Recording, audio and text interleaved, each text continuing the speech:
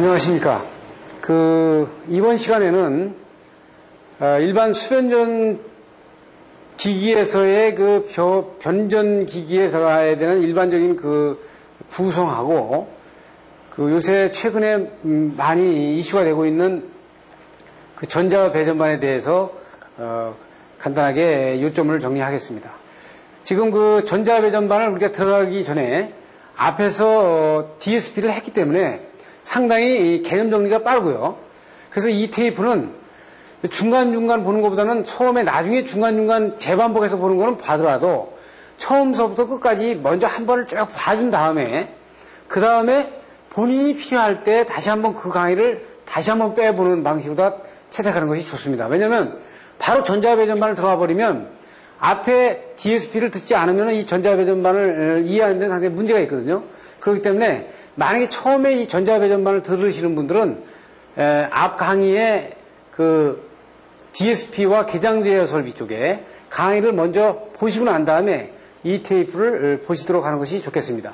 그러면 내용으로 들어가 보면 어, 일반적인 내용에서 어, 우리가 앞에서 다 강의한 내용입니다만은 우선 수변전 기기에서는 전압에 따라서 용량에 따라서 어떤 형태로 갖춰지느냐에 따라서 수변전 기기가 고압반이 몇 명이다, 특고압반이 몇 명이다, 만약 저압반이 몇 명이다라는 것이 결정이 되기 때문에 우선 일단 전반적인 걸 한번 보는 겁니다. 그래서 우리가 100kg 미만은 보통 저압으로 공급을 하고 100kg 이상에서는 대개 공급 전압이 500kg 이하에서는 3,300V나 22,900을 많이 사용을 하고 지금 500kW 초과하는 것은 그 22,900을 지금 상, 그, 우리가 공급을 받죠.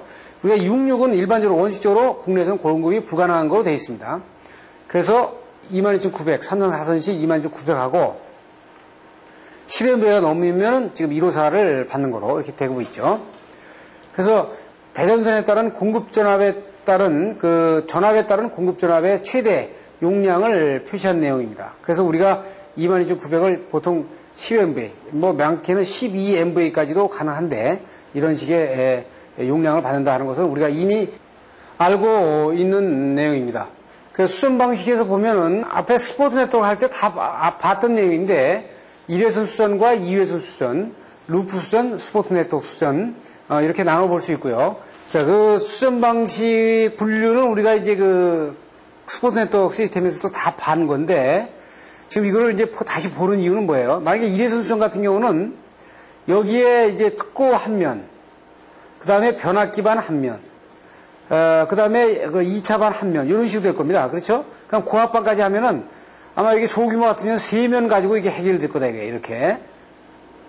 그럼 여기에 들어가는 것들이 이제 이 세 면에 뭐가 들어가느냐. 이 부분을 우리가 들여다보기 위해서 지금 하는 거거든요. 지금 그 one회선 수전 방식하고 일단 그 spot 네트워크 수전 방식을 비교해서 보면 에, 수변전 기기면이 몇 면이 필요한가만을 보는 거죠. 예를 들어서 여기에서 이제 그 메인 그 네트워크 protector 차단기가 아, 각 라인에 한 면씩, 그 다음에 변압기반에 한 면씩, 그리고 2차 차단기가 이제 더 들어간다고 그러면 한 면 될 거고요. 그리고 이제 그 여기에 보면 MOF하고 또 2차 차단기가 한, 한 명씩 들어간다 그러면은 이걸 한 면씩 차지하게 되면 보통 한 휘다에 4면, 그래서 4면 해서 3개 회선을 받으면 12명이 되는 거거든요. 그럼 용량이 같더라도 여기 3,000km를 수출하는 거고 여기도 3,000km를 수출하는 용량을 가졌더라도 여기는 3면이면 되는 거 같다가 여기는 12면을 가져야 되는 거거든요. 그러면 일단 면수를 가지고 보는 것은 이렇게 구성 휘다에 대한 구성 요건이 어떻게 되는가를 먼저 보고서 면수가 정해진다는 거죠. 그래서 우리가 일반적으로 이런 관점에서 이제 루프 수전 방식과 평행 이외선 예비 수전 방식은 그런 관점에서 이제 우리가 고려를 해보면 됩니다. 그래서 2차 여기에서부터 이제 우리가 뭐 면수를 계산하면 되겠죠. 여기에 대한 장점과 단점은 우리가 이미 다 공부한 바가 있는 겁니다. 그리고 이제 우리가 한 가지 이게 한국에서만 이제 적용되는 부분인데 만약에 우리가 1호사를 받으면요. 1호사를 받게 되면은 한전에 1호사를 줄 수 있는 변전소서부터 그 수용가까지의 이 전용 선로의 공사비를 다 어디에 있어요. 한전의 공사비로 납입을 한 다음에 여기 책임 분계점이 되면 책임 분계점을 풀들여 가지고 이 앞에는 이걸 어떻게 있어요. 그 저 한전에다가 기부 체납하는 방식으로 이렇게 돼가지고 이게 한전 재산이 돼버리죠. 그러니까 지금 이거는 민영화가 안 됐을 때 이게 이해가 되는 겁니다. 이게 만약에 민영화가 되면 이게 민간 회사가 되면 이건 이해가 안 되는 거죠. 예? 그래서 이게 이걸 그래서 우리가 선방선로라고 한 겁니다. 지금까지는 이렇게 되고 있는데 앞으로 이 부분이 이제 변해져야 되죠. 이 수용가에서 원하는 공급점에 원하는 시점에 되면 이쪽 어, 전원 공급 측에서는 이 선로를 전용 선로를 다 깔아줘야 되는 그런 상황이 이제 앞으로 나오는 겁니다. 이건 앞으로 시대적으로 변화한다고 볼 수 있어요. 근데 지금 현재 상태를 여러분들한테 보여드리고 있는 겁니다. 이건 참고적으로다가 그리고 이제 책임 붕괴점의 결정은 이제 고압수전회 같은 경우는 OS라든지 AS를 인입구에 설치해가지고 그 부분을 이제 책임 붕괴점으로 하고 특고 변전 수전하는 경우 같은 경우는 계약 전력이 3,000km 미만일 경우에 책임 붕괴점에다가 COS를 설치해가지고 이게 2.6mm의 동선으로다가 직결을 해서 사용하죠. 그러니까 이것은 COS가 휴즈 개념이 아니고 DS 개념입니다. 거기에 이제 책임 붕괴점을 둔다는 얘기죠. 3,000kW 이상에서 7,000kW 이하에서는 interrupter 스위치를 사용을 하고요. 그리고 7,000kW 초과하는 경우에는 sectionalizer를 설치를 해가지고 어, 그 부분에서부터 책임 분계점에다가 구분하는 이런 부분들을 볼 수 있어요. 우리나라는 지금 66kV를 쓰지 않습니다만 1호사 같은 경우는 라인 스위치, 인입 들어오는 라인 스위치를 놔가지고 그 라인 스위치서부터 책임 분계점으로다가 놔놓고 수용가와 한전 측의 책임 권한을 갖다가 구분하는 이런 경우를 볼 수 있습니다. 그래서 인입선은 앞에 그 전선에서도 얘기한 것처럼 어, 보통 이, 이바리즈 900의 가공은 이제 보면 뭐 어? 32스케, 58스케, 95스케 가공은 되게 58스케를 많이 쓴다고 했어요. 지금 그래서 우리 22900에서의 가공은 ACSR 58스케를 많이 쓰고 그 이제 지중에서는 22900에서 CNCV의 60스케어를 상당히 우리가 많이 사용되고 있는 부분을 볼 수 있다. 이거는 앞에서 이미 설명한 내용과 같은 내용입니다. 그래서 이제 변전 시스템의 선정에서는 단일 무선 똑같은 용량이라도 단일 무선을 하게 되면은 이 변화, 이 출연전 그, 그 배전반이 지워지죠. 그래서 단일 무선 같은 경우는 이런 게, 경우에는 지금 이제 한 면, 여기 차단기 한 면, 뭐 변압기 한 면, 2차 차단기 한 면이면 여기까지가 보통 한 세 면. 그러니까 이거는 굉장히 아주 간단한 간이 형식에서 상당히 많이 사용하는 방식이고, 이거를 조금 좀 구체적으로 하겠다, 좀 이중무선을 하겠다 그러면은 지금 똑같은 방식이라도 세면에다가 이렇게 어, 양쪽에 세면씩 포진을 시키고 그리고 이제 모선의 부스가 이 중간에 들어가는 면이 공통으로 들어가고 나머지 면수가 더 이제 추가로 증가되죠 이렇게. 그러니까 어, 설비비가 이제 상당히 비싸지는 면수가 벌써 많아지면 면적 증가하죠 공사비 증가하지 그리고 배전반의 면수가 증가하니까 거기에 대한 시설비가 아, 증가되는 겁니다. 그 섹션을 가진 경우가 이건 이제 우리가 많이 사용하는 겁니다. 일반 중층 빌딩, 그러니까 20층에서 30층 정도가 이 방법을 많이 쓰는데 우리가 이렇게 나눠볼 수 있죠. 나누고 여기 나누고 나누고 어 그래서 그 다음 이제 배전반도 나누고 이런 식으로다가 그래서 one line 다이어그램을 보게 되면 one line 다이어그램 나눴고 그 점선으로 해가지고 그 배전반 특고반과 저압반 고압반에 대한 그 면수를 이렇게 예? 에, 나눠가지고 high voltage면 high voltage HV 뭐 zero one서부터 뭐 그 다음에 예?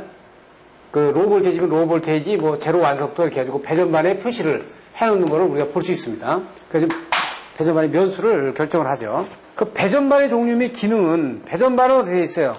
이제 여기 고압 배전반은 이제 특고 배전반까지를 다 포함을 해가지고 특고나 고압 배전반 그 저압 배전반으로 내려와서 동력 제어반과 분전반 그리고 감시 제어반과 계기반과 조작반 이런 식으로다가 우리가 배전반의 종류를 나눠 볼 수 있습니다. 어, 특고 설비에서의 이제 기본적인 기능에서는 시스템에서의 역할과 기본적인 기능 그래서 기본적인 기능에서는 특고 설비에 안에 들어가 있는 거는 보통 어떻게 되어 있어요? 특고 설비에 배전반에 들어가 있는 거는 어, MLF 차단기 어, 보호 계정기. 거기 뒷면에 후면에 이제 부스 어, 부스닥트. 또는 부스바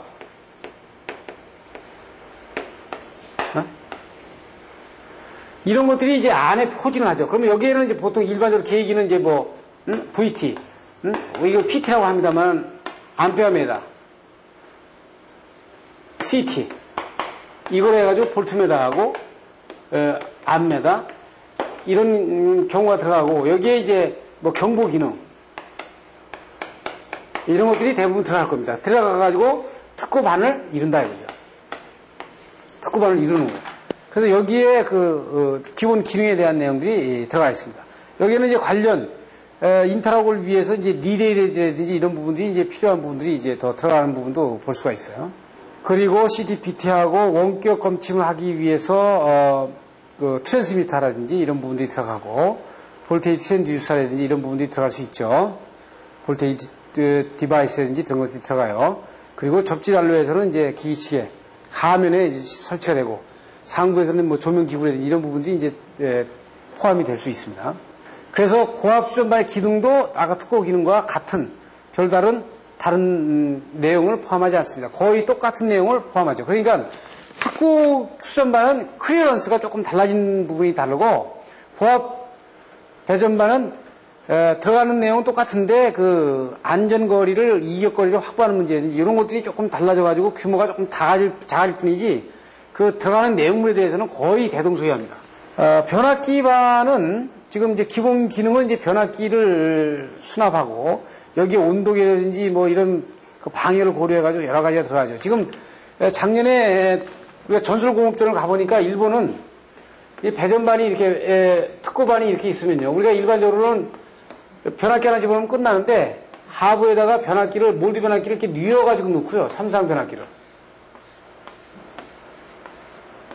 이렇게 뉘어놓고 뉘어놓고 차단기를 여기 2단으로다가 아주 축소시켜가지고 그 옛날 같으면 이게 어떻게 되면 세 면에 처리가 될 걸 갖다가 한 면에 처리하는 것들을 이렇게 볼 수 있었어요. 그러니까 요새는 효용화, 경량화, 그 다음에 이제 오늘 강의 주축이 되는 전자 배전반 쪽에 역할을 많이 하는 겁니다.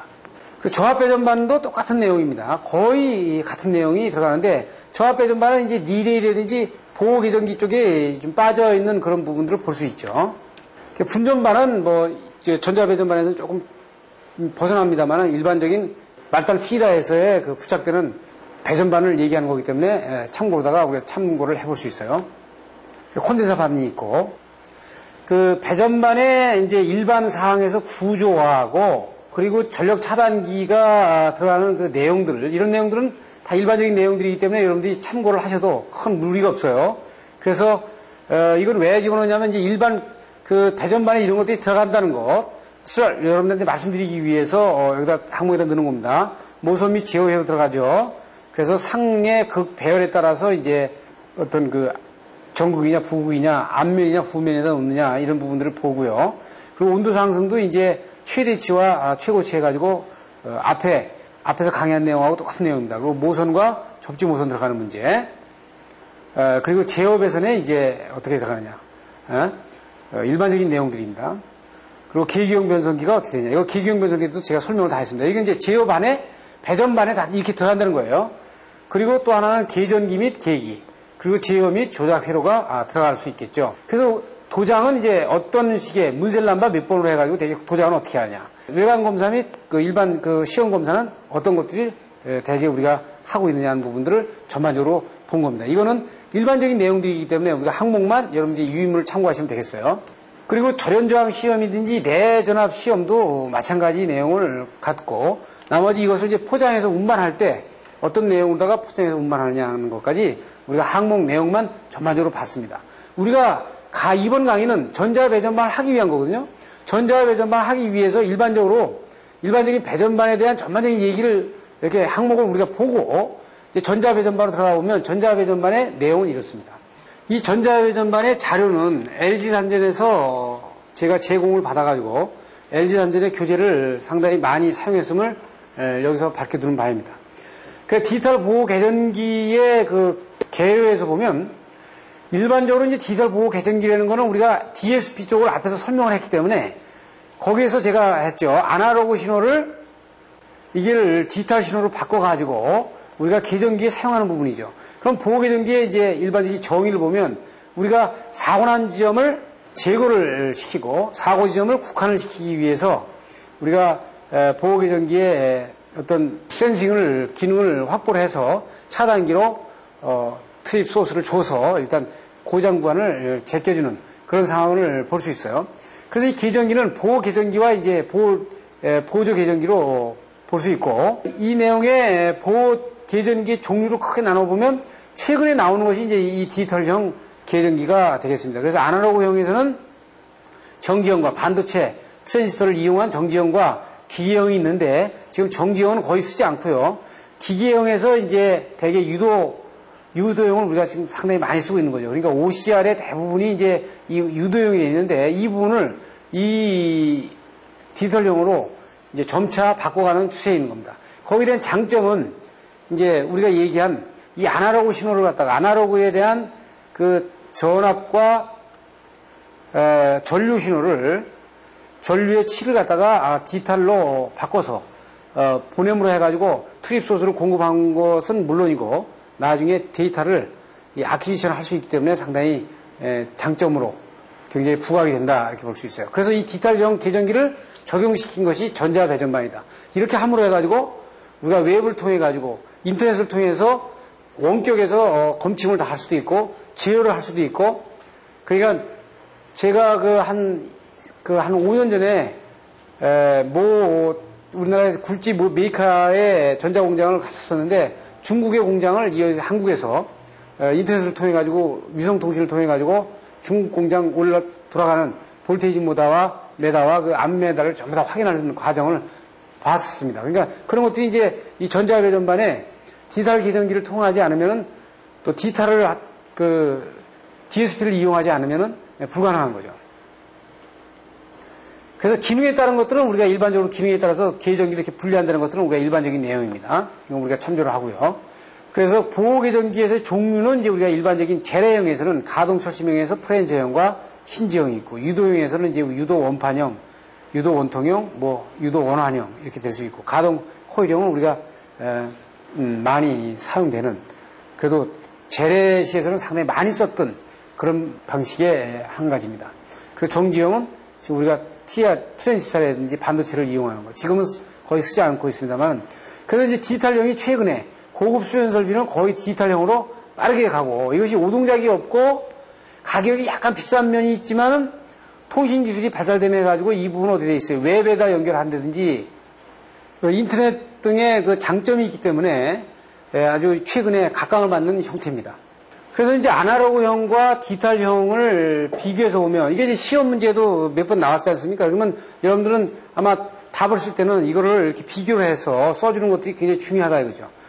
그런데 여기 보시면은 신뢰성이 이게 계정기 쪽은요, 이 신뢰성이 제일 문제거든요.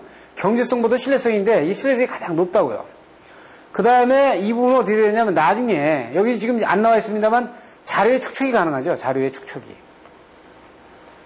그리고 어, 종합적으로 보게 되면 일단 디지털 계정기를 이용을 해가지고 이 전자배전반을 하게 되면 이제 장점으로 보게 되면 이제 조금 전에 얘기한 웹이라든지 이제 웹을 통해 가지고 이제 집에서 뭐 대전의 어떤 공장의 지금 설비 의 완난 이상에 대한 부분을 전부 다 보수되든지 그 공용 서버를 이용하면 이런 부분들 다 가능하죠. 그 그러니까 그렇게 되면 인터넷으로다가 자료 데이터도 다 받아볼 수 있는 거예요.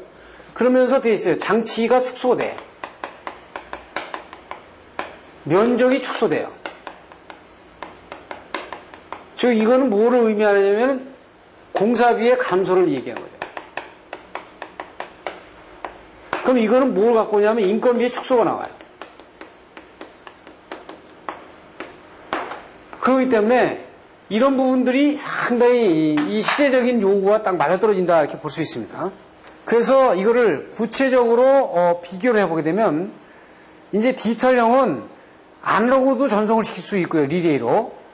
에, 그 아날로그형을 아날로그 치를 갖다가 디지털형으로 바꿔가지고 다시 아날로그로 보내는 여기는 DA 컨버터가 또 하나 들어가야 되지만 이렇게. 에, 그래서 어떻게 있어요 딜다시는 양은 정해진 프로그램에 의해서 마이콤으로 계산하여 크기 및 위상을 판단하여 동작하는데 아주 자동 점검이고 무보수죠.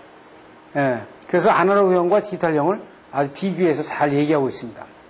지금 그 이 부분에 대한 거는 제가 이걸 완벽하게 아는 거는 여러분들이 DSP를 이해하셔야 된다 그랬어요. 그 DSP를 보셔야 돼요. 그러니까 여러분들이 답안을 쓸 때는 DSP에 대한 부분도 반드시 전자배전반을 할 때는 DSP에 대한 이론을 모르면 전자배전반은 어디 보면 껍데기만 아는 거고 핵심을 모르는 겁니다.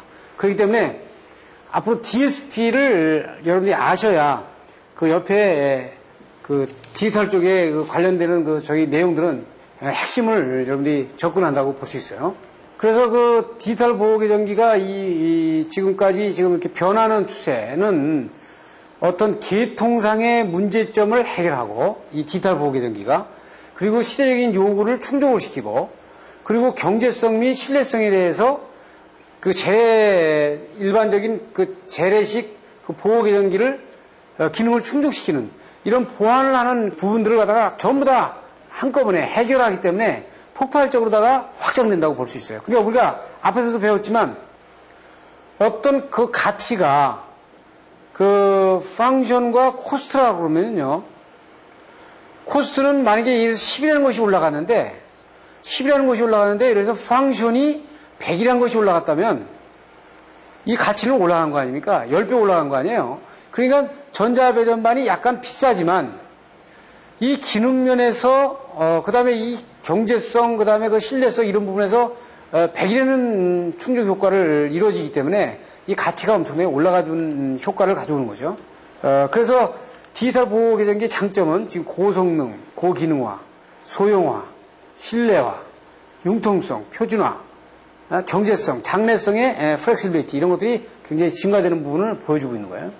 그래서 지금 우리가 그 고도의 보호 기능, 보호 능력을 실현할 수 있고요.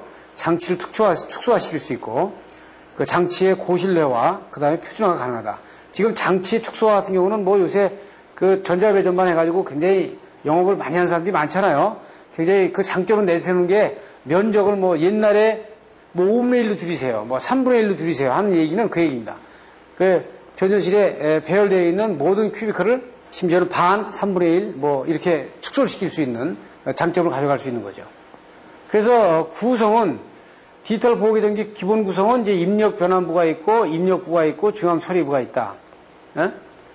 어, 그리고 정정부, 출력부, 표시부가 있어요. 그래서 이 부분은 뭘 가지고 있어요? 우리가 제가 DSP에도 똑같이 얘기한 겁니다. 즉 어, 입력부에서 아날로그 신호가 들어오면 일단 필터를 거치죠. 필터를 거치는 거는 low pass filter라든지 aliasing filter를 거쳐가지고 우리가 불필요한 그 대역을 끊어버리는 거죠. 끊이고 끊어버리고 sampling and hold를 해서 일단 에, 그 코딩화를 하죠. 그러니까 우리가 숫자를 이렇게 한다고 했잖아요. 지금 이런 신호면 이거를 이렇게 sampling and hold하고 이거를 이런 신호로다가 끊죠. 끊어가지고 이걸 1, 0, 1, 1, 0, 1, 뭐 이런 식으로 하고 그 다음에 이걸 1, 0, 1, 1, 뭐 one one 이런 식으로 되니까 1번 신호는 one zero one 1, 1과 0의 숫자 배열만 하면 나오는 거 아니에요? 2번 신호는 이것도 숫자 배열만 달라지는 거죠. 그러니까 이걸 8빗, 8비트로 이거 나눠서 얘기하지 않습니까? 그러니까 모든 신호를 갖다가 8개의 숫자 배열로 1과 0의 숫자 배열로 다 할 수 있기 때문에 에?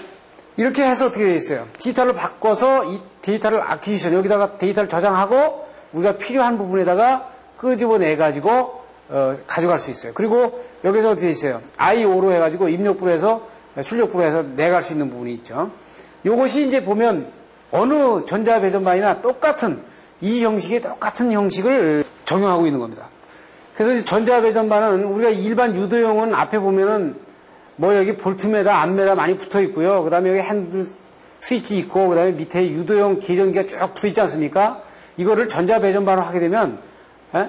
여기서는 어, 그 디지털에서 아날로그에서 디지털로 변환하는 어, 이 변환기만 있으면 되는 거거든요. 그리고 안에 차단기가 내장되어 있으면 되니까 이 크기를 갖다가 뭐 상당히 줄여줄 수 있고 앞에가 어, 상당히 많은 장치가 붙어 있는 이런 그 형태를 갖다가 이렇게 아주 컴팩트하게 가져갈 수 있고 이 부분을 이 컴퓨터하고 연결해 가지고 어, 그 장치를 갖다가 그 on off라든지 모든 그 모니터링 시스템이라든지 이런 부분들을 에, 원격적으로 다 가져갈 수 있는 그런 시스템으로 다 가져갈 수 있는 겁니다.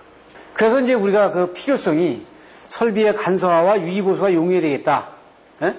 계속 여기에 대한 인건비도 상승이 되고 사람은 어떻게 보면 유지보수하는데 에, 그 고급 인력이 오지 않지 않습니까? 그러니까 굉장히 용이해야 되고 이것이 standard화 돼가지고 표준화된 그 유지보수가 가능해야 되고 그리고 다양한, 다양한 이제 표시 기능이 가능해야 된다. 기능 가능해야 된다.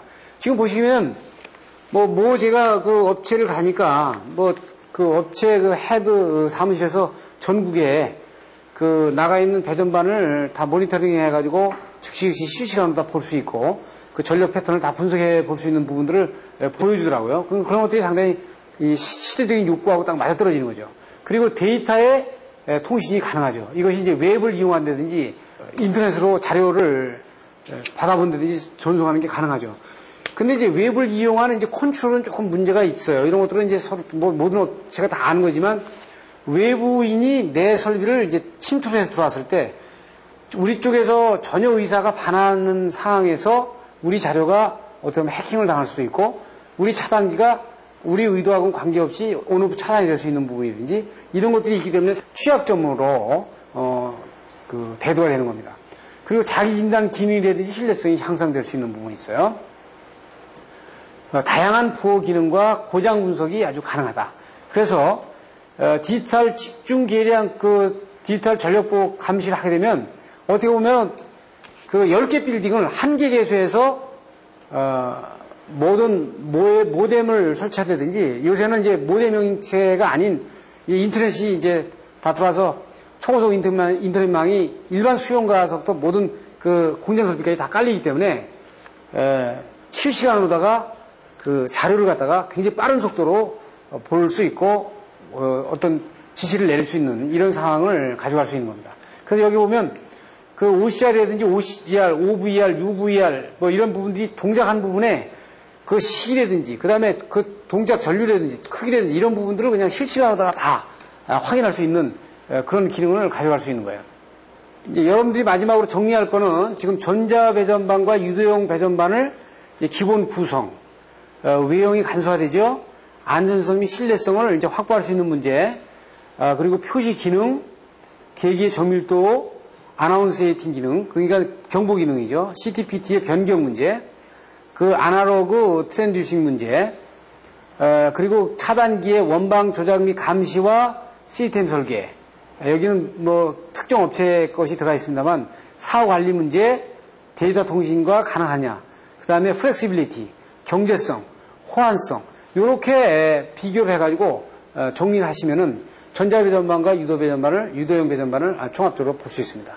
지금 결론적으로 전자배전반은 경제성과 시대의 그, 그 패턴이 딱 맞아떨어지는 DSP를 근거로 한 음, 배전반 형식이라고 할 수 있겠습니다. 이상으로 그 전자배전반을 유도형 배전반과 비교해 봤습니다. 이번 강의가 이렇게 함축해서 할 수 있었던 것은 앞에 DSP와 관련이 되기 때문에 DSP를 설명했기 때문에 이것이 함축해서 강의를 할 수 있는 겁니다.